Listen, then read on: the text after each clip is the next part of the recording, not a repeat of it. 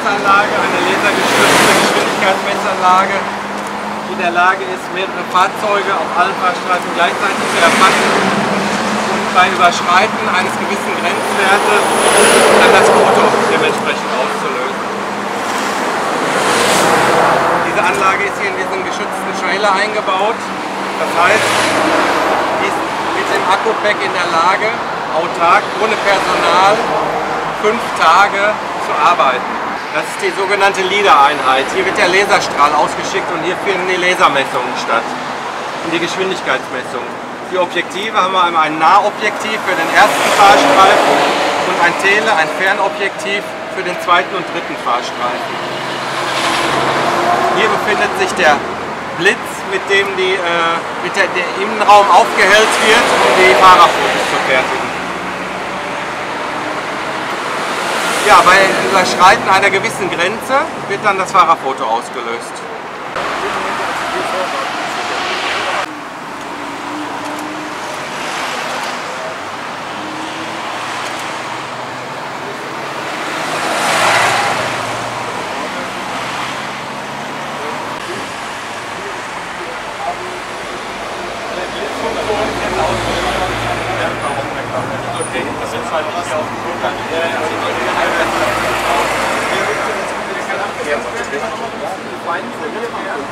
Koffer, dementsprechend auch im Roller heute jeder, es abgeschleppt werden sollte, dann haben wir auch dann dort, dass man auch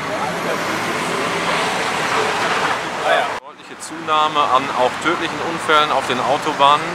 Das hat uns dazu veranlasst, in diesem Jahr schon deutlich auch alle Kräfte anzuspannen, 70 Prozent mehr Kontrollen durchzuführen. Kontrollen ähm, ohne Anhalten, Kontrollen sind 70 Prozent mehr, Kontrollen mit Anhalten 30 Prozent mehr Maßnahmen. Aber hier haben wir jetzt ein Gerät, was wir flexibel einsetzen können, insbesondere an Unfallschwerpunkten. Was uns in diesem Jahr Sorge macht, ist, dass wir aufgrund der vielen Baustellen im Gebiet immer wieder Häufungspunkte haben an unterschiedlichen Stellen, wo auch Unfälle passieren.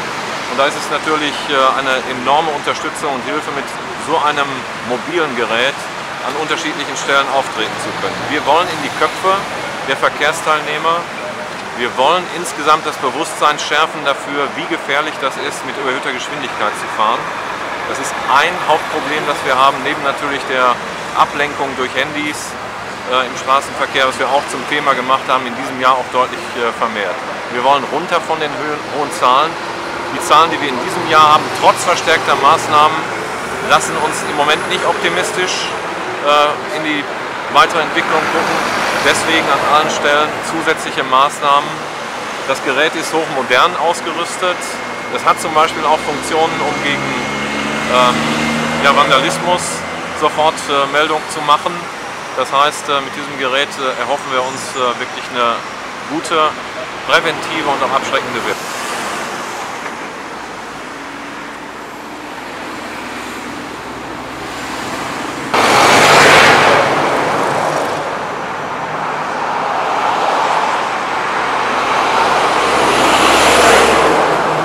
Stimmt für Sie das neue Gerät oder was, was kann das besser als, äh, als bisherige Technik?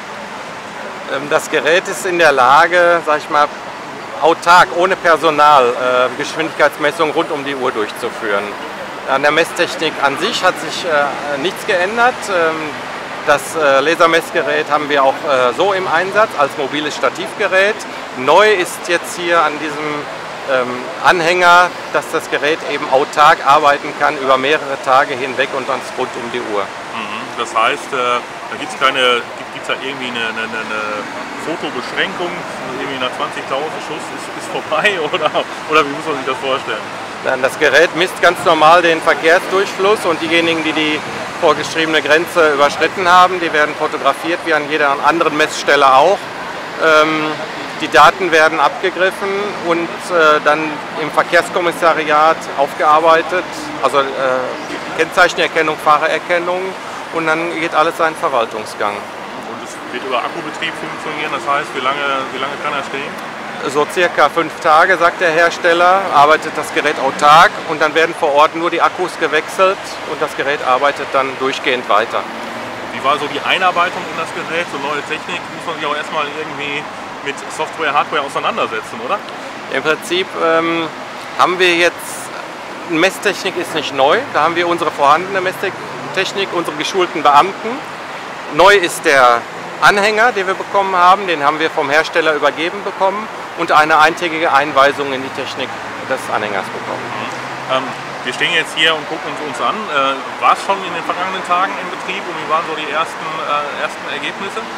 Der Anhänger ist äh, diese Woche in Betrieb, also ganz frisch, äh, seit gestern in Betrieb gegangen. Äh, über die Ergebnisse können wir noch nicht sagen, leider, weil wir die Fotos noch nicht ausgewertet haben. Und äh, kann man was zu den Kosten sagen? Also was kostet dieses Gerät? Also der Hersteller gibt an, dieses Gerät, das ist lediglich der Anhänger, diese Schutzhülle, diese vandalismussichere Schutzhülle für das Messgerät kostet ca. 100.000 Euro. Und dazu dann die Messtechnik, hatten Sie glaube ich gesagt, irgendwie was um die 70, ne? Die Messtechnik, je nachdem welche Ausstattung äh, das hat, ich glaube um die 50.000.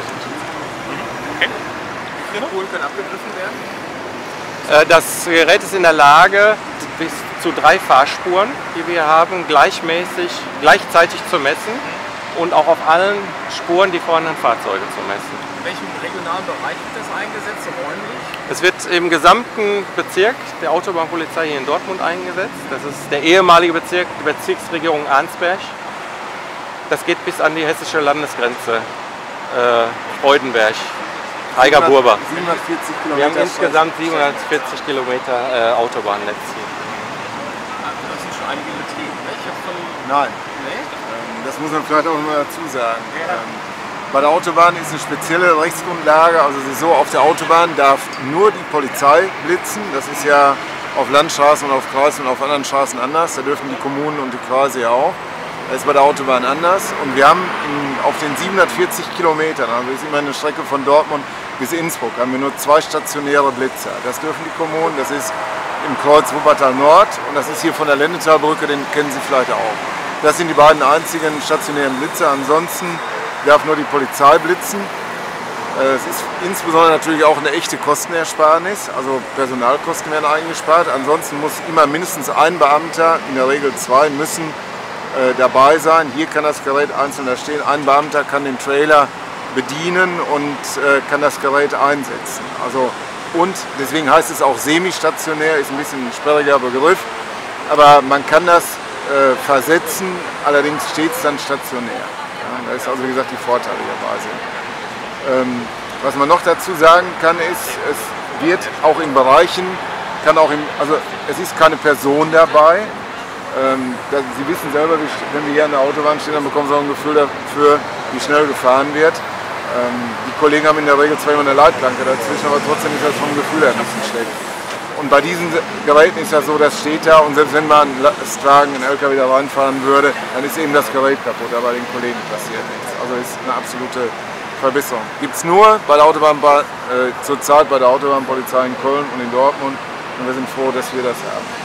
Deutschlandweit, oder? Ja, deutschlandweit. Nordrhein-Westfalen ist ja äh, Vorbild. Es gibt ein paar Kommunen, die haben sich die Dinger gekauft. Bayreuth, habe ich gehört. Ja, allerdings also immer noch wissen, das n- nicht auf der Autobahn. Autobahn, es gibt auch ein, äh, eine aktuelle Rechtsprechung dazu, auf der Autobahn darf eben nur Polizei blitzen. Und ähm, wie gesagt, hier äh, sind wir die äh, ersten Behörden. Es hat einen Test gegeben im Land, da hat sich dieses Modell durchgesetzt und das ist dann eben für die beiden Autobahnpolizeien eingeschafft worden. Es ist so, das hängt auch ein bisschen davon ab, wenn Sie unter äh, 60 Euro liegen, dann kriegen Sie es von uns wenn sie, wenn sie drüber sind, weil das geht in den Landeshaushalt, allgemeinen Landeshaushalt. Alles, was einen äh, Punkt gibt, das geht zu den Kommunen, zu den Bußgeldstellen. Das ist der Unterschied. Also, aber wie gesagt, wenn wir die, hier werden die Bilder gemacht, das wird über einen Stick, geht das bei uns ins Verkehrskommissariat, dann müssen die Bilder überprüft werden, ob die was geworden sind. Man kann auch was sagen, wo der Nachteil der Technik ist. Also Normalerweise ist es so, die, stellen, die Kollegen stellen ihre Autos und ihre äh, Radern oder ihre äh, Messanlage auf und dann achten die darauf, wie die Sonne da reinscheint. Hier steht das Gerät und die Erde dreht sich und die Sonne scheint auch schon mal rein. Also je nachdem, zu welcher Tageszeit äh, haben sie hier Bilder, die nicht besonders verwertbar sind. Das ist der Nachteil. Deswegen müssen wir, wenn wir die Bilder an die Bußgeldstellen weiterschicken, müssen wir erstmal vorher drauf gucken, ob die Bilder überhaupt was geworden sind. Macht ja keinen Sinn, wenn der Fahrer nicht identifiziert oder das Kennzeichen nicht identifiziert werden kann. Ja, also das, wie gesagt, da sind die Kollegen deutlich erfahrener dabei. Aber das ist auch, das muss man ja auch bei bedenken. Also so ein Wetter wie heute mit bedecktem Himmel ist natürlich ideal. Da können sie 24 Stunden am Tag blitzen. Was noch ein entscheidender Vorteil ist, äh, oder was auf jeden Fall noch bemerkenswert ist, ähm, unsere Maßnahmen finden ja überwiegend dann auch statt, wenn der Verkehr ist. Also wir treffen dann Maßnahmen, wenn die Anzahl der Unfälle hoch ist. Das ist ja die Logik, die allgemein dahinter steht. Das Gerät blitzt natürlich 24 Stunden am Tag. Und das heißt, äh, jetzt haben sie Verkehr, jetzt, äh, weil der rechte Fahrstreifen ziemlich voll ist, äh, wird hier nicht ganz so viel geblitzt. Aber stellen Sie sich das nachts vor, wenn hier einer vorbeikommt, da werden auch die hohen Überschreitungen sein. Das können Sie, glaube ich, auch gut, wenn wir wir machen es nicht regel, also nicht häufig, aber doch regelmäßig, wird nachts geblitzt und da sind dann die, die Tagessieger oder Monatssieger dann dabei. Ne? Ja, klar. Waren frei. Ja, das ist so. Ne? Vielleicht muss man anstrengend noch mal eins dazu sagen. So in diesem Zustand werden Sie das Gerät nicht häufig sehen, weil das Gerät, weil die keine Leitplanke ist. Ähm, also ich sag mal, ein kleiner Fahrfehler und das Ding ist Schrott. Deswegen achten wir schon darauf, äh, dass dass immer eine Leitplanke dazwischen ist, damit das Gerät auch sicher steht. Ja, also das ist, Höhe passt es, ne? also über, die über die Leitplanke kommt er drüber. Ja. Äh, man sieht das jetzt auch, der Blitz jetzt im Moment wieder viel. Sobald wie die Lücken da sind, blitzt er auch. Ähm, also als Sie noch eben nicht da waren und ich mit dem Präsidenten hier war, ich sag mal, der hat innerhalb von einer Minute 20 Mal schon geblitzt.